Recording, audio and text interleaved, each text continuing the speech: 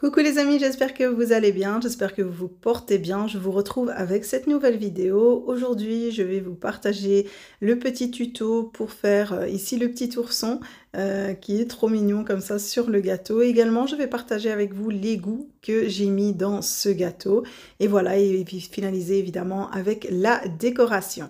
Alors la première chose, pour les recettes, comme d'habitude, vous allez voir dans le descriptif de cette vidéo, vous allez trouver tous les liens, que ce soit ici pour la génoise à la vanille, ici le boudin avec de la crème au beurre à la meringue suisse.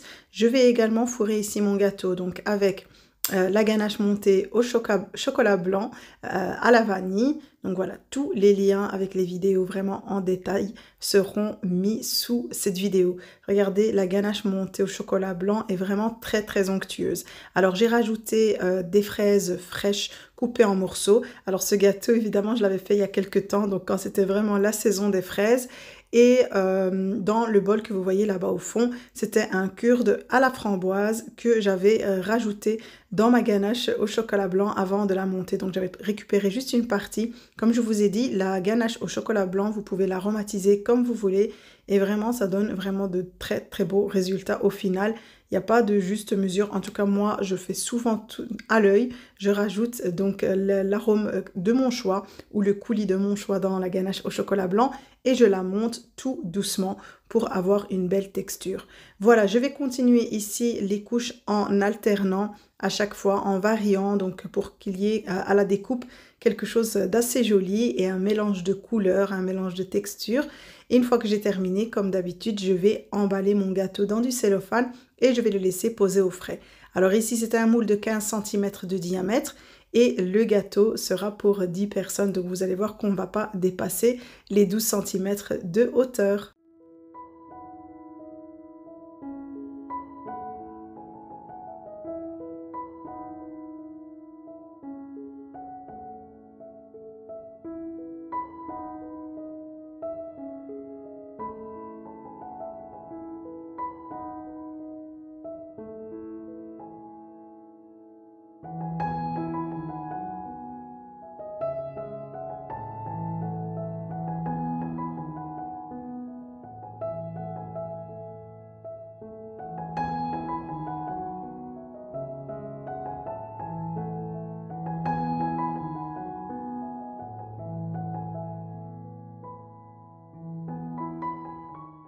Alors après que mon gâteau a bien posé au réfrigérateur et qu'il a bien figé, je vais colorer euh, ma crème au beurre à la meringue suisse ici comme vous le voyez, qui est vraiment à bonne température et qui est bien, euh, bien onctueuse, vraiment prête à être utilisée pour le lissage.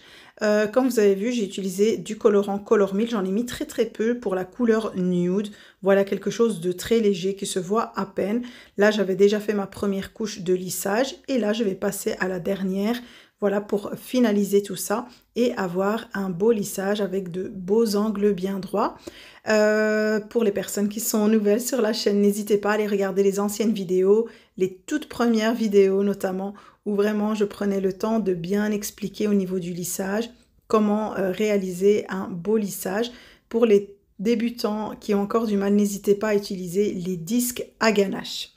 Alors ici, pour le tuto euh, du petit ourson, alors de la pâte à sucre que j'ai colorée en marron clair. Euh, la pâte à sucre, c'est toujours la Renshaw Extra et je vais vous laisser regarder euh, les images. Voilà, ça n'a pas besoin de, plus d'explications.